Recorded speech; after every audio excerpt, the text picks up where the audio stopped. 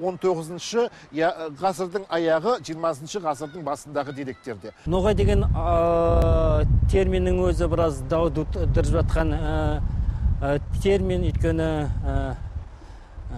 біреулер ноғай дегенде ноғай бек ноғайдың атымен байланыстырады. Біреуі қара ноғай деген тоқай темір ұрпағымен байланыстырады. Біреулері ол моңғолдың ноқой ит деген атымен байланыстырады. Енді бұлда да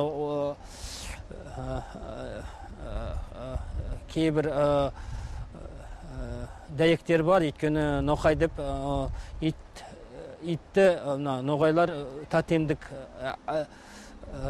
жануар ретінде бағалаған 17-18 ғасырда ноғай ордасы мейлінше күшейіп орыстарды қирата жеңіп қалаларын өртеп мәскеудің қас жауына айналған болатын. 1552 жылы қазан хандығын 1556 жылы астрахань хандығын бағындырды. Осы оқиға жайында ер жүрек ноғайлар орыс еңбектеріне қарсы қолдарына қылыш пен найза алып шықты деген жазба деректер бар. Осыны түсінген патша өкіметі ноғайларға қарсы әккі қолбасшы суворов бастаған жасақ арқылы бірнеше мәрте қанды қырғындар ұйымдастырған.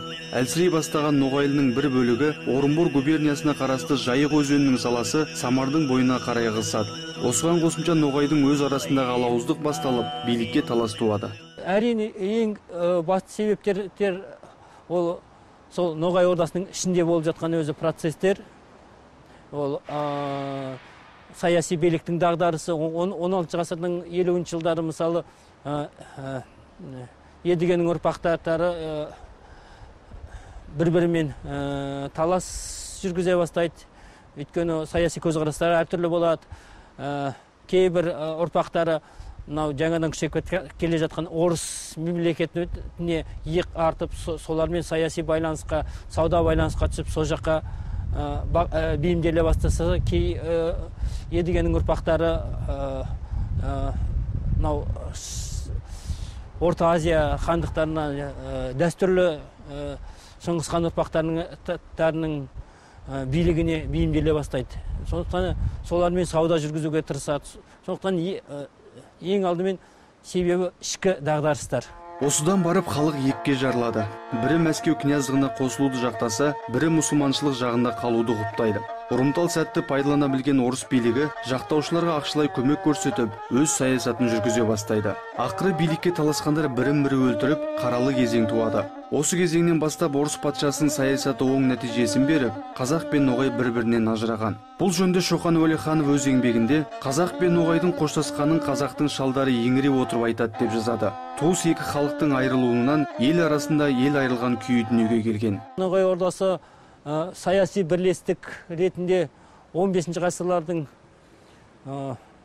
орта шеңіне қалыптасып қалыптасты десек негізі 16 ғасырдың ортасында ол бірнеше саяси бөлікке бөлінді. Ол үлкен ноғай ордасы кіші ноғай ордасы және алты ұл деп үшке бөлінген.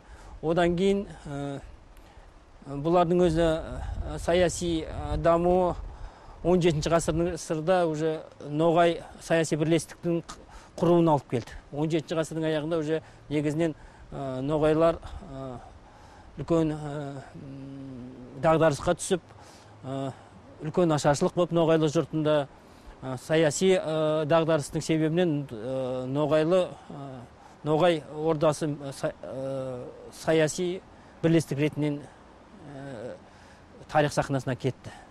16 ғасырда қасым хан тұсында қазақ хандығы күшейіп ноғайлының көп аймағын өз иелігіне алып біраз бөлігін елдің ар жағына дейін сырып тастайды.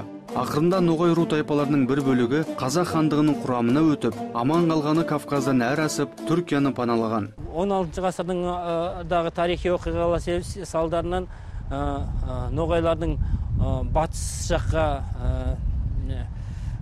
көшу үрдістері байқалады. Сондықтан мынау кіші ноғай ордасы үлкен ноғай ордасының кейбір ру тайпалары батысқа жылжи жылжи мынау күшейген орыс мемлекетінің құрамына өтеді. Ақырындап осы біраз бөлігі осы ресейдің мынау қазіргі ставрополь дагестан деген аймақтарында кубаньда орнығып қалады қазірге дейін осы жерде ноғайлының бөліктері тұрып жатыр. Бұл өткен тарих. Ал бүгінде ежелгі даланы ен жайлаған ноғайдан ат төбеліндей ғана жұрт қалды. Ортақ шаңырақтан өрбіген қандас халықтың саны жүз мыңға да жетпейтіні алдаусыратуға көнбейтін қатал тарихтың дерегі әрине ноғайлар мен қазақтардың арасында қатынас тығыз болды. Яғни қазақ айтып отырмын ғой қазақ жеріндегі мына кіші жүздің құрамына соңынан анау ыдыраған кезде ноғай ордасы иә ноғайлар соған енген. Мына соңғы мәліметтер бойынша жиырмасыншы ғасырдың сексенінші жылдарының соңында мына тмд елдерінің көлемінде жеті мың жүз жиырма бір ноғайлықтар тұратын туралы мәлімет берілген екен.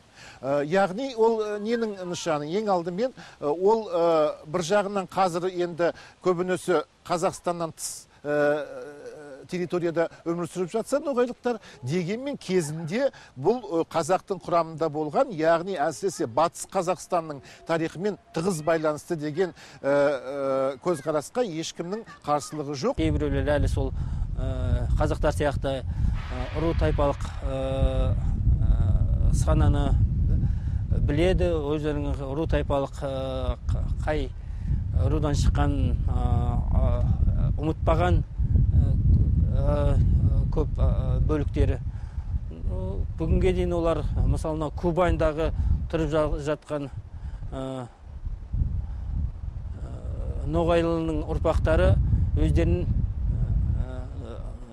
найманбыз керейтпіз деп атайтын. Бір қызықтысы бұл атауларды көбінесе осы кубандықтар бізде фамилия дейді ғой фамилия ретінде пайдаланады. Найманов кереитов дейді тарихи бірлікті ноғай мен қазақтың арақатынасынан іздеген жөн дейді зерттеушілер. Екі халықтың өзге жұртпен салыстырғанда бір біріне жақын екендігін айғақтайтын дерек көздері көп. бір тілде ұғынысады бір тілде ойланады. Қазақ сөйлесе ноғайдан артық түсінетін халық жоқ.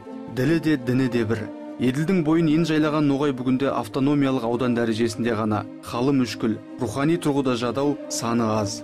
Өркениет өңешіне жұтылып кетудің аз алдында тұрған қандастар қазақ елінің рухани қолдауына мұқтаж. Барлық тарихшылар мойындайды. Мына қазақтың тарихымен нақты байланысты тек қана бір қоятын мысалы сол павловтың айтатын бір кітабының бір жерінде айтып кетеді ол кісі. Мына ноғай ордасының тарихы деген монографиясында. Бұл мәселені қазақтар зерттеу керек еді. Яғни негізінде бұл мәселенің мына жалпы тарихын ноғай ордасын қазақтар жазу керек еді деген бір ой тастайды. Яғни бұл әрине біз тек қана ол ол кісі айтады.